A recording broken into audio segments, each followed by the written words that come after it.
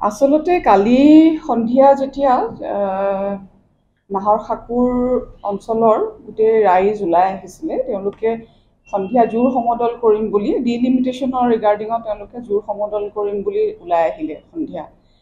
আৰু যেতিয়া তেওঁলোক ওলাই আহিলে আচলতে সেইটো আমাক মানে প্ৰথম কথা হৈছে ইণ্টিমেশ্যন দিয়া নাছিলে জনোৱা নাছিলে আৰু পাৰ্মিশ্যনো লোৱা নাছিলে। আৰু জোৰ সমদল যিহেতু বেণ্ড আছে গণতান্ত্ৰিকভাৱে যিকোনো ধৰণৰ প্ৰটেষ্ট কৰিব পাৰে ধৰ্ণা দিব পাৰে সেইবিলাকত কোনো আপত্তি নাই। কিন্তু জোৰ সমদল বা অৱৰোধ এইবিলাক বস্তু যিহেতু বেন আছে সেইটো সময়ত পুলিচ প্ৰশাসন গৈ তাত যেতিয়া উপস্থিত হ'ল তাত মানুহবিলাকে অকণমান এটা তৰ্কাতৰ্কি নিচিনা হ'ল। যিহেতু জোৰ সমদল মানে তেওঁলোকে জোৰটো জ্বলাই আগবাঢ়িব লওঁতে বাধা দিলে আৰক্ষীয়ে যিহেতু এইটো আপুনি কৰিব নোৱাৰিব বুলি। বাধা দিওঁতে অকণমান তাতে তেওঁলোকেও মানে উত্তেজিত হৈ সেই কাৰণ আমাৰতো বাধাটো দিবই লাগিব যিহেতু বেন আছে।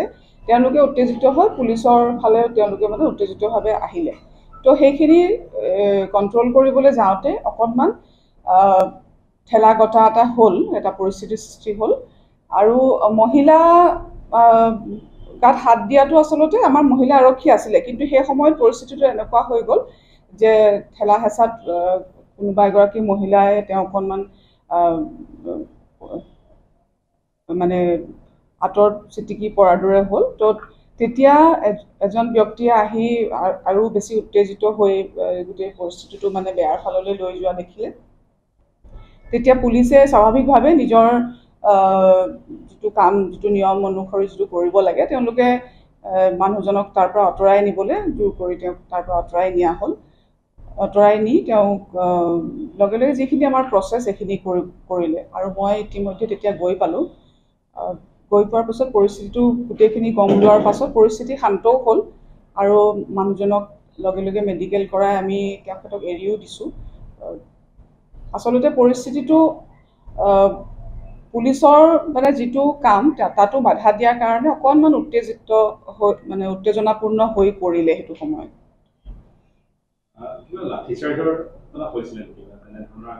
আছে। লাঠিচাৰ্জৰ আচলতে মানে চাওক পুলিচক যদি বাধা দিয়ে পুলিচেতো মানে নিজেতো নিজৰ নিয়মটো প্ৰচেছটো কৰিবই লাগিব। পুলিচক বাধা দিছে তো পুলিচে বেলেগটো একো আৰ্মছটো ইউজ কৰিব নোৱাৰে। তো লাঠিডালেৰে তেওঁলোকে বাধা দিবলগীয়া হৈছে। গতিকে লাঠিডালেৰে বাধা দিওঁতে তেতিয়া অলপমান এটা পৰিস্থিতি এটা হৈছে অকণমান। সিমানেই আৰু অঁ মোবাইলটো আমি লগে লগে ঘূৰাই দিলোঁ।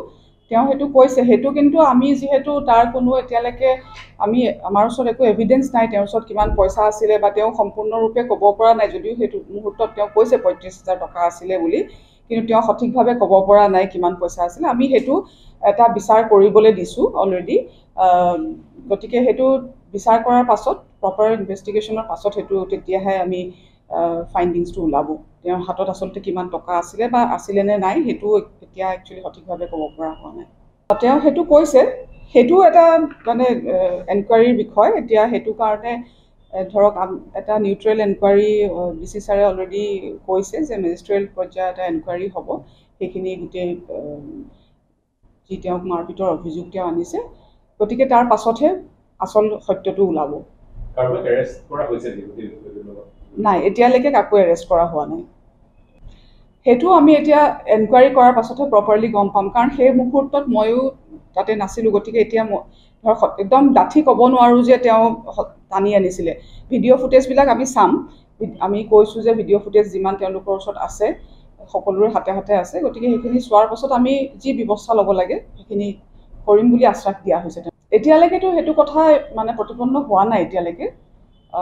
ধৰক এতিয়া আমি হয় এতিয়া সেইটো এতিয়া যিহেতু প্ৰপাৰ ইনভেষ্টিগেশ্যন এটা হোৱাৰ প্ৰয়োজন তাৰ পাছতহে মই সঠিকভাৱে ক'ব পাৰিম।